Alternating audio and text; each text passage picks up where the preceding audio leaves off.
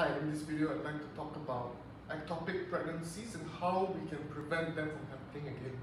So many patients who have a history of ectopic pregnancies, you'll notice that they happen repeatedly when they need to go for treatment. They cannot preserve the pregnancy, it ends up with a pregnancy loss. Sometimes they also end up losing a fallopian tube because common management for ectopic pregnancy is uh, directly removing the entire fallopian tube. So it decreases your fertility rate by 50%, and then if you have it happens again, you lose another fallopian tube, and then you will need to go for IVF. And that also cannot guarantee success because IVF success rate is only 20 to 35%. That's why Antai Hospital is very uh, uh, emphasizing the importance of prevention of ectopic pregnancies. If it happens one time, we need to get it treated and prevent it from happening again. So ectopic pregnancies are pregnancies where the embryo is implanted outside of the uterine cavity. So normally you should implant anywhere here, but it's implanted outside the fallopian tubes, in the pelvic cavity, on the cervix, etc. It can implant itself in many places. 90% of ectopic pregnancies happen in the fallopian tube. So if it's a very endangering situation, a life-threatening situation, discovered too late where there is bleeding already happening because of the fallopian tube rupture, management is that we need to do a medical abortion. And then most doctors will actually remove the entire fallopian tube. Now we don't do that here at the Hospital. And the Hospital actually has a very highly specialized uh, treatment method for actually transplanting the embryo from the fallopian tube back into the endometrium. This is a very specialized treatment that is only available here at the hospital because it really depends on experience and skill. So what ex exactly causes the ectopic pregnancies and how can we prevent them from happening?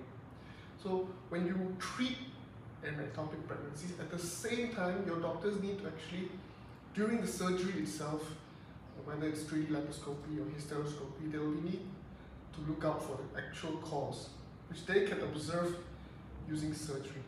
There are three factors that we want to look at. First factor is the uterine factor.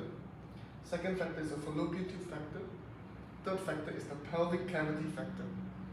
So the uterine factors include, for example, there's a presence of some polyps, some fibroids, some adenomyosis lesions within the uterine cavity causing this ectopic pregnancy.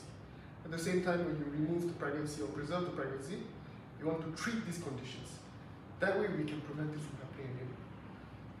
Another common cause for underuterine factor is septate uterus or naive uterus.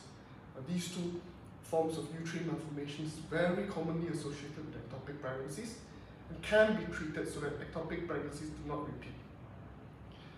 Secondly is fallopian tube factor. For example, if the fallopian tube has been blocked, the fallopian tube has adhesions or it's stick together or swollen, something's affecting its ability to function causing this ectopic pregnancy, it should be also treated at the same time during management.